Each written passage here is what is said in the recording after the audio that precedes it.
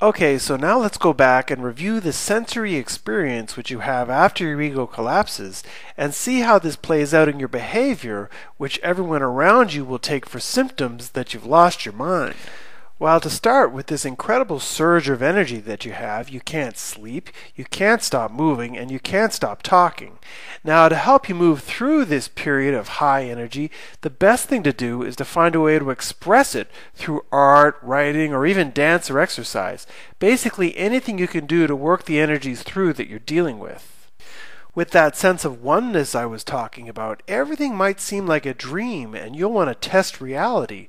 You might want to try and walk through a wall or go out and stand in traffic or even fly out a window, and that, of course, can be very dangerous for you. Now, this doesn't necessarily mean that you need to be strapped to a hospital bed against your will, but anyone in a state of acute psychosis should have two people with them to offer protection and emotional support at all times. Because you'll have this deeper understanding, you'll want to share your ideas with people, but most of the time they won't be ready to listen to what you have to say. It could be because what you are saying is confusing to them, or perhaps your new ideas are disturbing to them because they're so different from their way of seeing things. And like I said in the previous video, the experience is so indescribable that you may use metaphors to try and explain what's happening to you, like, I'm in heaven or I am God. And while you may be speaking symbolically or poetically, the people around you could take you literally, thinking, he thinks he's in heaven, he thinks he's God, he's totally crazy. And that's why it's very important that any support people that you do have working with you need to be very open minded and very non judgmental about what's happening to you. Now, it is true that some people get stuck in delusions which they themselves take very literally, such as thinking that they're Jesus the Messiah. However, if someone is healing and working through their process, these strongly held delusions should loosen their grip within a few weeks, perhaps even a few days. And with the enhanced sensory experience, you may respond very strongly to smells or noises, or be very entranced by certain visual patterns, leading to more strange behavior. Speaking personally, it was my own fascination with the heightened sensory world that I was in, which led me into thinking that I was dead. Another place where this heightened sensitivity can cause you problems is at the psychiatric hospital because being in such a cold and hostile environment, people tend to act terribly in front of their psychiatrist, giving them more proof that you need medications. But the truth is, you may just be reacting to your surroundings and how you're being treated.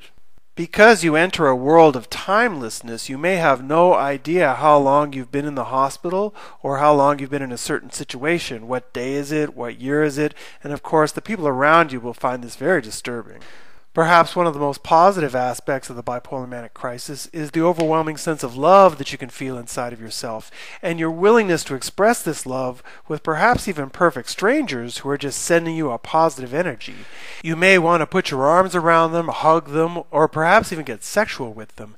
And even with this somewhat positive experience, it may be looked on with fear from others because it's so different and is not normal. I think one of the key characteristics of bipolar mania is your loss of shame, and when that comes, you immediately want to take off your clothes almost in protest. It's like you look down and you think, What are these clothes doing on me? And you need to get naked, and very often you may want to even piss or shit, basically anywhere that you are. And even masturbation isn't out of the question because it goes along with this total release of repressions. That sense of sacredness I talked about can lead you into revering or bowing to people as you truly identify with the God side of them. You may see people who are close to you that are giving you love as some sort of saint or angel, and you'll treat them accordingly.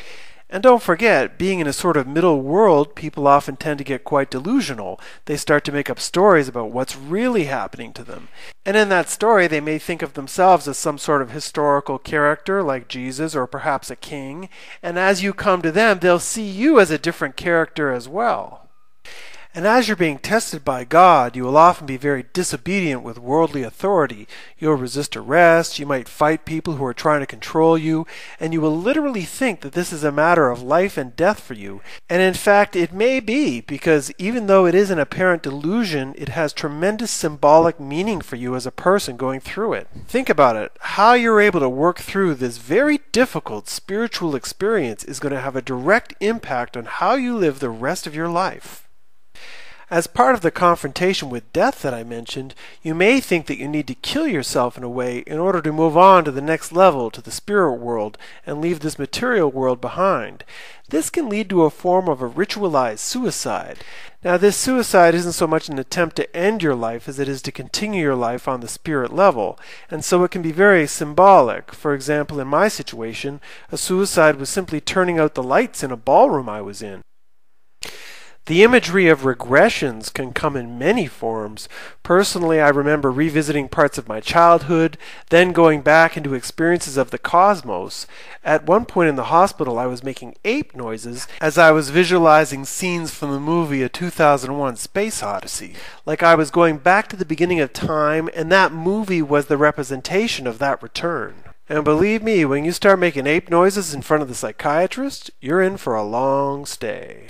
And finally, with your shift in values, expanded awareness, and increasing concern for social issues, you might see yourself getting very emotional about issues that never seemed to bother you before. Disturbing images that you see on TV, or even buried problems within your own family, may get you very upset, whereas before you would just put up with it. In fact, bringing up family issues or family secrets is such a central part of the healing of acute psychosis that I've dedicated one video to this subject alone. So, despite the fact that many of the experiences or emotional shifts which you are going through are quite positive, your behavior will be strange, and almost everything you do will be interpreted negatively by almost everyone around you. Now, I don't want to overgeneralize by making this sound like one big party that was ruined by your parents and doctors, because once your healing process begins, there will be a lot of fear and pain that you'll need to open up to as well. And from what I've seen, I believe that a big part of the fear is simply connected to the newness of the whole experience. So that even for people who have quite positive manic experiences, once they snap back into reality, they might find the transition very frightening because they don't know what just happened to them. Another source of fear or pain will be related to the trauma or even negative energies that you may have carried around for your entire life. It was Dr. Carl Jung who first identified this somewhat scary part of ourselves, calling it the shadow, over 80 years ago. And when our shadow starts to come out, we can start to act pretty nasty. One minute we may be saying to someone that we love them, and then maybe 20 minutes later we're looking at them saying, I hate you, get out of my face. And so, with all of these spiritual aspects happening, being in a middle world, having strong experiences of love as well as fear, you may even start to question your own sanity in the middle of this, and at the very least, you will be very confused about what's happening to you. But what's important to remember is that all of this is part of a very complex spiritual healing process, which, if at all possible, needs to be supported and not blocked. So, in conclusion, I'd just like to say that yes, when a person goes into the acute psychosis often associated with bipolar mania, they do exhibit very strange behavior, there's no doubt about it. But there are reasons for this. There is a sensory experience that the person is undergoing beneath the surface of things that up to now modern psychiatry has simply dismissed as signs of mental illness. And I think that if more people in a bipolar manic crisis are going to heal, that the support network we have of doctors, families, and friends needs to come at this with more love and less fear. They need to support this person and they need to understand that this is basically a healing spiritual event that needs to happen for their long term benefit. Now, I don't want to leave you with the impression that after you pass through an experience like this without medication, that you'll reach ultimate enlightenment and all of your problems will go away, because that's not going to happen.